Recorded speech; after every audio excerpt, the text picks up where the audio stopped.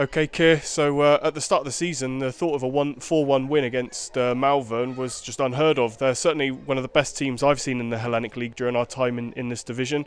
Um, but we got 4-1 today. Uh, does that certainly show how far we've come as a team? Definitely. Um, I think if you look across the course of this season, we've got better and better and better as the, the season's gone on.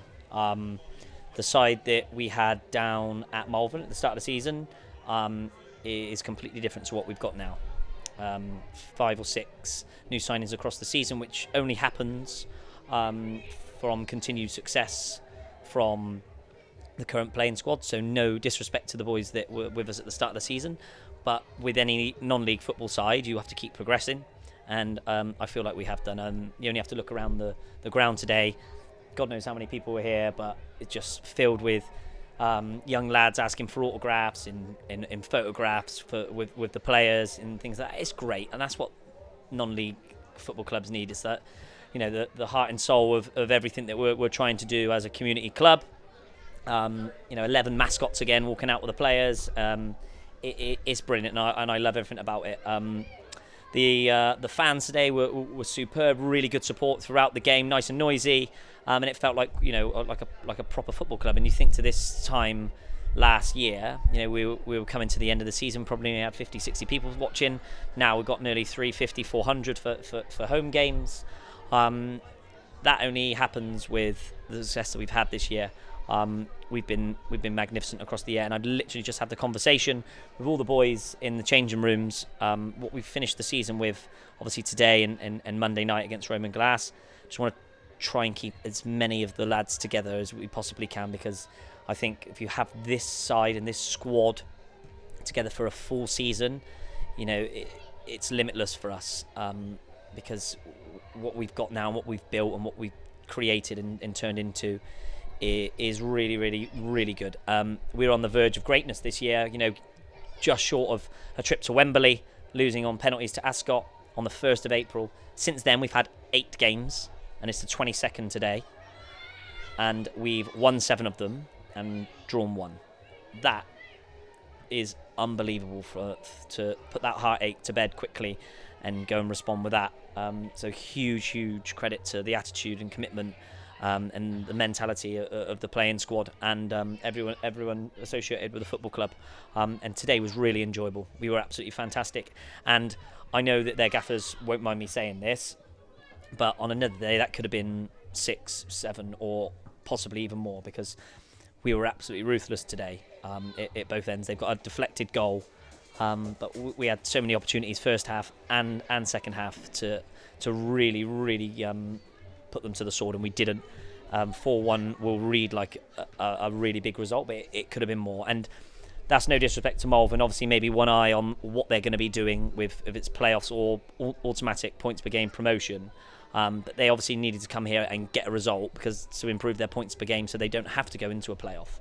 Um, they obviously won't know that in, until Wednesday, and now you think if we did maybe have the, the adequate rest that um, that we probably deserved with um, the fixture rearrangement that you know we we could have taken this right to the wire, but to have eight games in 20 days and to win seven and drawn one and just shows what a group we've got at the moment. We've lost three games all season.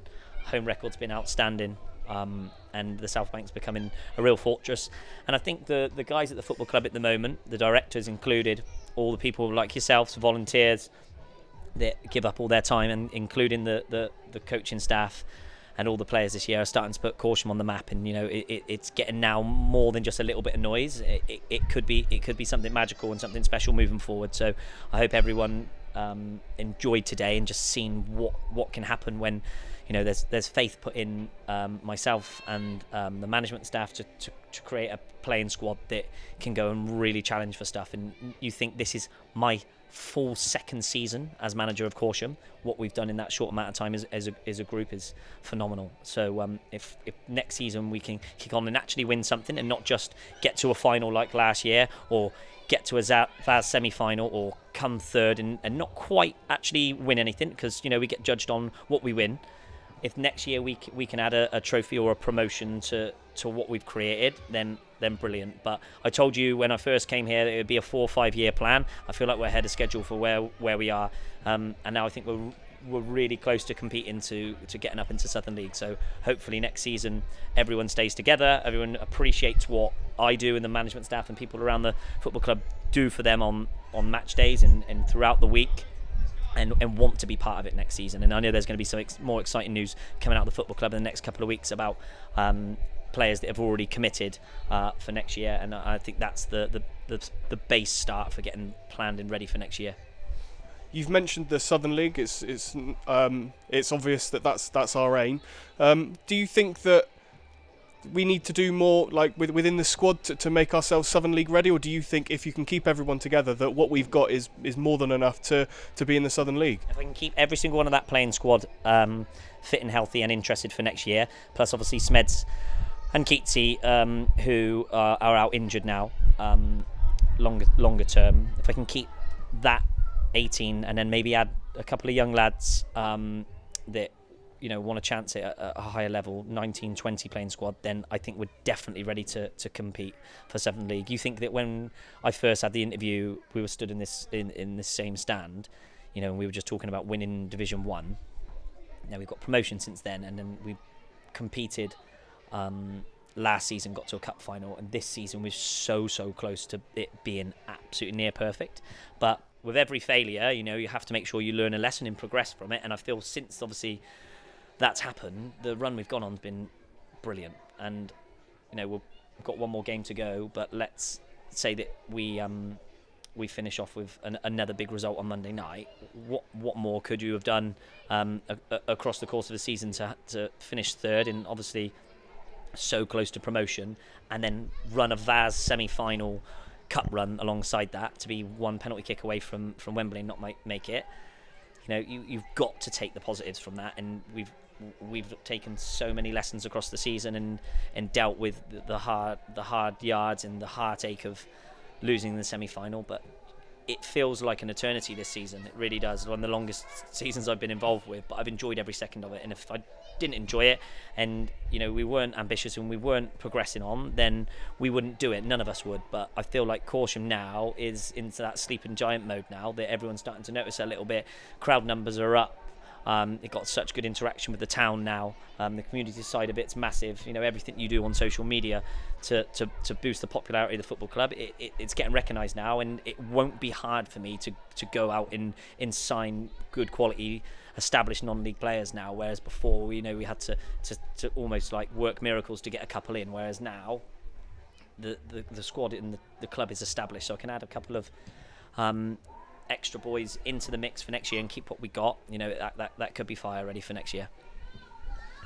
And um, today's man of the match was was Nikel. He's certainly been our, our star man as the season's progressed. Is he going to be one of those players that you're going to be absolutely uh, confident can play for us next season? Yeah, um, I already had that conversation. I've got a good relationship with with Neeks. Played with me at Melksham m- many years ago, and I was desperate to bring him here and then he's gone had a 30 goal season. Um, I think uh, there was a stat jumping around before kickoff that if he scored one today, he would be the highest scoring Corsham player since 1998, which goes to show the faith that we put in him um, to, to, to go on and, and, and be the spearhead for, for our new look Corsham side. And he's obviously repaid the faith shown in him by the football club. Um, so yeah, if we can have him for a full season and I can get my hands on him again for a pre-season to make sure he's fit, he's fit and fire, and then who knows what's going to be in store for him next year. But not only is what he does on the football pitch, but in the changing room, he's massive for us. Um, he, he's such a leader on and off the pitch, and, and, he's a massive presence. And I'm delighted to have him at the football club, head and shoulders man of the match today. But that front three of of Kane, Dan Demkiff in, in Nikel is unbelievable. Like today, they caused so many problems, and again, it could have been six or seven if we were a bit more clinical. Um, but that is the best team performance we've had for, for a long time. Um, it was almost near perfect, apart from their deflected goal, limited them to, to hardly any chances. Midfield three were, were fantastic. Um, Nath's been an absolute monster this year. We've added Hobbsy and Ruz mid-season to, to, to the mix, who good experienced players to have around. Ruz is obviously captain Hungerford for many a season, and I'll, I'll do everything I can to try and keep him involved for next year. Back four solid. Brandon's come in and out this year proper proper club man. Obviously, Swanee, Coops, and Alex was superb today. Jeppo was really, really steady again. He's you know gone and got, I think got 20 clean sheets this year, which has been brilliant. So with those boys and all the the lads that have been in and out and the ones that have been been injured as well, it, it's just a really, really good feel around the place. And I'll just do everything I can, have a meeting with the directors and, and, and get ready and try and get us prepared for next year now.